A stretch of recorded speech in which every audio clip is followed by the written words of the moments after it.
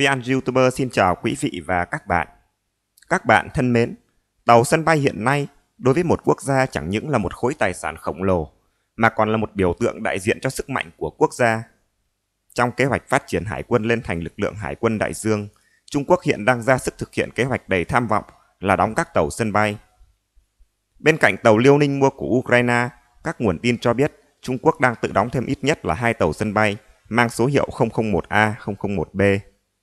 Chương trình tàu sân bay có thể đánh giá là chương trình đóng vai trò hạt nhân trong kế hoạch phát triển hải quân hiện nay và tương lai 20-30 năm tới của Trung Quốc. Do vậy, tìm hiểu về năng lực của tàu sân bay Trung Quốc là một vấn đề được rất nhiều người quan tâm. Để góp phần đáp ứng mong mỏi này của cộng đồng, tôi quyết định thực hiện một chuyên đề về tàu sân bay Trung Quốc. Trong bản tin hôm nay sẽ là bài đầu tiên về chuyên đề này. Bản tin sẽ trình bày về nét tổng quát năng lực của tàu sân bay Trung Quốc đặt trong sự so sánh đối chiếu với tàu sân bay của Mỹ. Trước hết, mời quý vị và các bạn theo dõi phần phân tích của mạng Sina trong bài viết có tên Tàu sân bay mới của Trung Quốc làm thế nào bắt kịp với tàu sân bay lớp 4, hạm tải cơ vẫn là vấn đề trọng yếu. Bài báo này đăng ngày 20 tháng 8 năm 2016. Tác giả bài báo này viết Trước mắt, con tàu sân bay tốt nhất thế giới là tàu sân bay lớp 4 của Mỹ. Tàu này dài 330 m, rộng 41 m, lượng giãn nước 100.000 tấn và là tàu sân bay tối tân nhất thế giới. Giá thành của nó cũng lên tới 12,9 tỷ đô la, nhưng ước tính giá vận hành bảo trì trong 40 năm sử dụng của con tàu này còn đắt gấp nhiều lần, lên tới 100 tỷ đô la. Chỉ riêng điểm này đã khiến các nước khác trên toàn cầu cảm thấy kinh hãi, đóng không được mà dùng cũng không được. Đằng sau chi phí lớn như vậy, tự nhiên là nó cũng có những tính năng rất cao. Con tàu sử dụng hai lò phản ứng hạt nhân, cung cấp động lực cho 4 tua bin hơi nước, 4 máy phóng điện tử mới. Trên mặt bong có thể đáp 75 máy bay, gồm máy bay cảnh báo sớm, chiến đấu cơ, máy bay tác chiến điện tử và các loại trực thăng. Các máy phóng điện tử cũng mang đến cho tàu sân bay lớp 4 một sức chiến đấu đáng kinh ngạc. Đánh giá về sức chiến đấu của một tàu sân bay, tất nhiên là cần xem hiệu suất phóng máy bay lên không. Một tàu sân bay lớp Nimitz mỗi ngày có thể phóng lên không 140 đến 160 lần chiếc máy bay, còn tàu sân bay lớp 4 có thể phóng tới 180 đến 220 lần chiếc máy bay. Đằng sau năng lực phóng máy bay kinh người này lại là năng lực ném bom đạn cũng kinh người nữa. Các máy bay trên tàu sân bay lớp 4 một ngày có thể oanh tạc 1.200 mục tiêu, cao hơn so với con số 700 mục tiêu của tàu sân bay lớp Nimitz. Đương nhiên có thể mang lại sức chiến đấu cao như vậy không chỉ là nhờ năng lực phóng máy bay, mà còn nhờ đường kính đạn dược nhỏ và các giá treo phức hợp. Tổng hợp lại, tàu sân bay lớp 4 không hổ thẹn là tàu sân bay mạnh nhất thế giới.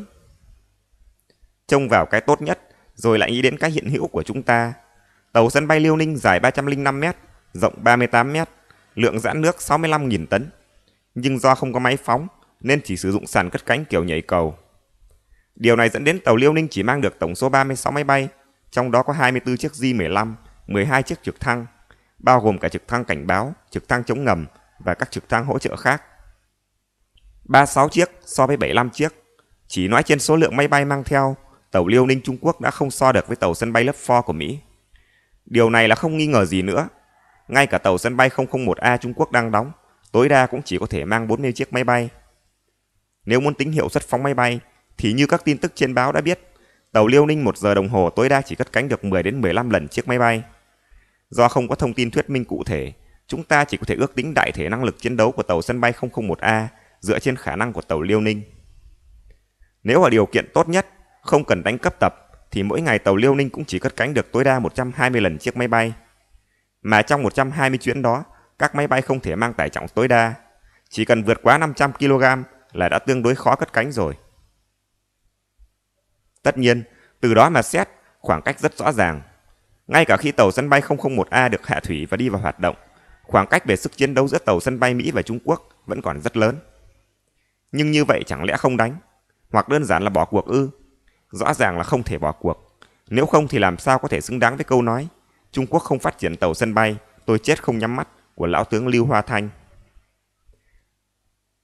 Nói nước Mỹ tiên tiến cũng không có gì sai. Nó là tiêu chuẩn. Dưới tiêu chuẩn đó, Trung Quốc cần một mặt triển khai công tác nghiên cứu phát triển và trang bị máy phóng, cùng các loại máy bay trên hạm mới. Mặt khác là tận dụng khả năng để nâng cao hiệu năng chiến đấu của tàu sân bay hiện tại. Trước hết các tàu sân bay chiến đấu của Trung Quốc và tàu sân bay của Mỹ nhắm mục tiêu khác nhau.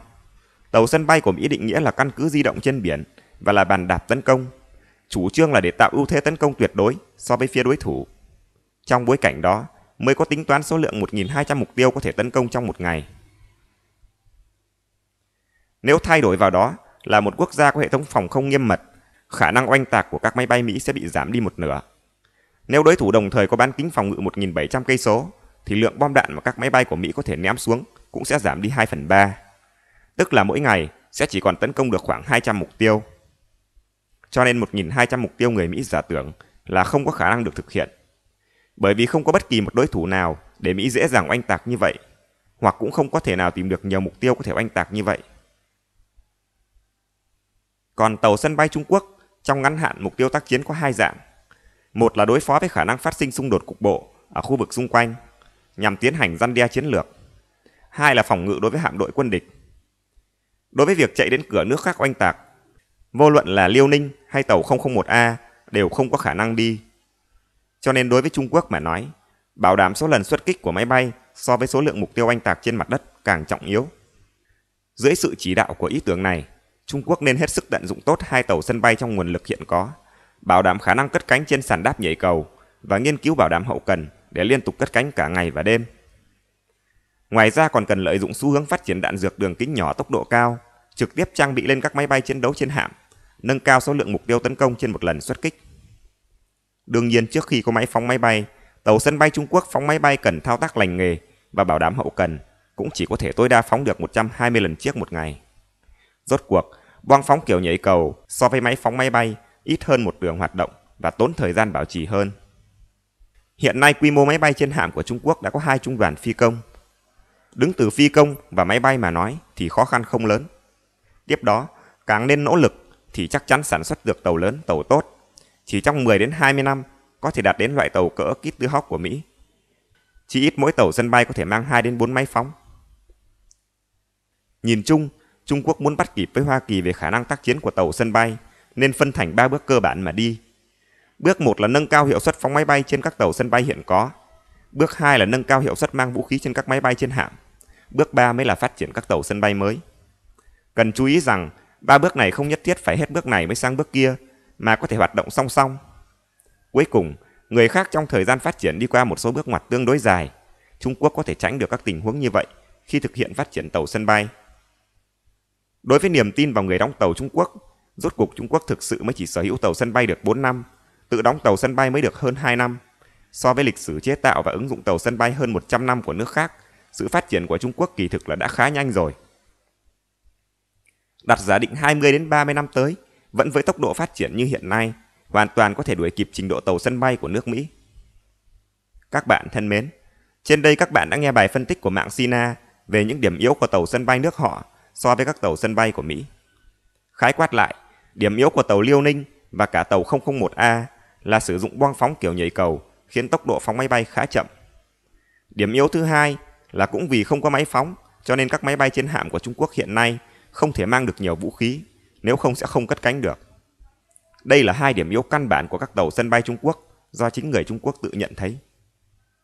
Thêm nữa, tác giả của Trung Quốc đã cho rằng mục đích đóng tàu sân bay của Trung Quốc không giống Mỹ. Bắc Kinh đóng tàu sân bay nhằm đối phó với các cuộc xung đột cục bộ ở khu vực và thứ hai là để làm lực lượng phòng ngự chống lại các hạm đội của đối phương.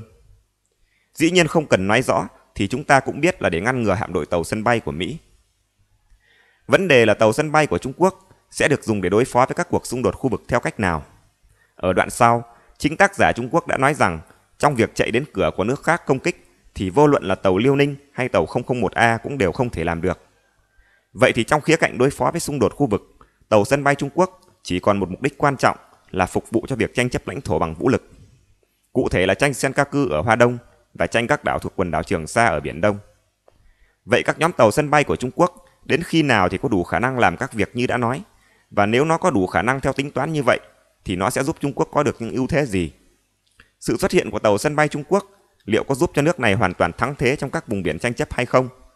Những câu hỏi này tôi sẽ bàn đến trong các bản tin tiếp theo. Bản tin hôm nay đến đây là kết thúc. Xin chào tạm biệt và hẹn gặp lại.